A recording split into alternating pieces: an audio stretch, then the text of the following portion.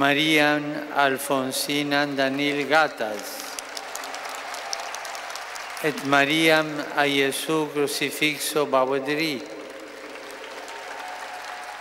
Santas esse decernimus et definimus, ac sanctorum catalogo adscribimus, statuentis eas in universa ecclesia, inter santos pia devotioni recoli devere. Con questa formula in latino, Papa Francesco ha dichiarato sante Maria Alfonsilda Nil Gattas e Mariam di Gesù Crocifisso Bauardi, domenica 17 maggio in piazza San Pietro, sul sagrato della Basilica Vaticana. Insieme alle due religiose palestinesi sono state canonizzate altre due suore, Giovanna Emilia de Villeneuve e Maria Cristina dell'Immacolata Concezione Brando. Dopo la formula di proclamazione vengono portate all'altare le reliquie delle nuove sante, mentre la gioia e la speranza dei fedeli presenti in piazza vengono espresse con il canto dello Jubilate Deo. È stata una grande festa, soprattutto per le oltre 2000 persone arrivate da Palestina, Giordania, Libano e Israele. Una folta delegazione guidata dal patriarca latino di Gerusalemme, Fuad Tual.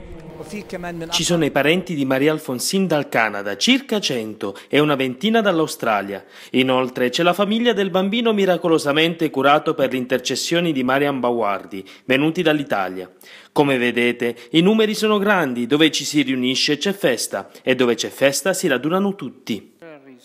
Nell'omelia il Papa ha sottolineato l'esperienza diretta e stupenda della risurrezione fatta dagli Apostoli e con loro da generazioni di santi.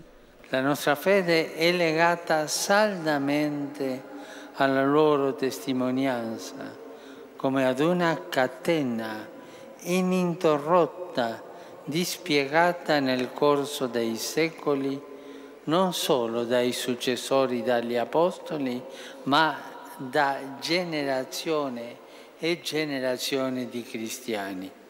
Ricordando la prima lettera di Giovanni, il Santo Padre ripete Chi rimane nell'amore rimane in Dio e Dio rimane in Lui. Questo è il segreto dei santi. Questo hanno fatto le quattro sante oggi proclamate.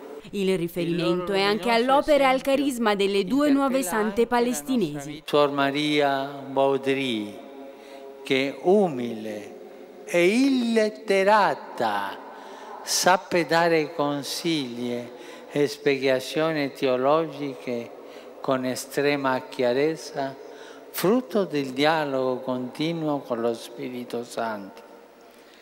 La docilità allo Spirito Santo l'ha resa anche strumento di incontro e di comunione con il mondo musulmano. Così pure Sor Maria Alfonsina Danil Gatas ha ben compreso che cosa significa irradiare l'amore di Dio nell'apostolato, diventando testimone di mitezza e di unità. Maria Alfonsina è un segno, un grande segno per noi, un segno che ci porta a riflettere. Allora preghiamo con serietà e coscienza per il rinnovo spirituale, per la nostra vita religiosa, sia a livello personale di ogni suora, sia come intera congregazione. Abbiamo vissuto un clima di grande spiritualità, abbiamo così chiesto una benedizione alle sante per il Medio Oriente, la nostra terra e per tutti quelli che ci hanno chiesto di pregare per loro. Al termine della messa, Papa Francesco ha rivolto un saluto ai presenti e in particolare alle delegazioni ufficiali di Palestina, Francia, Italia, Israele e Giordania.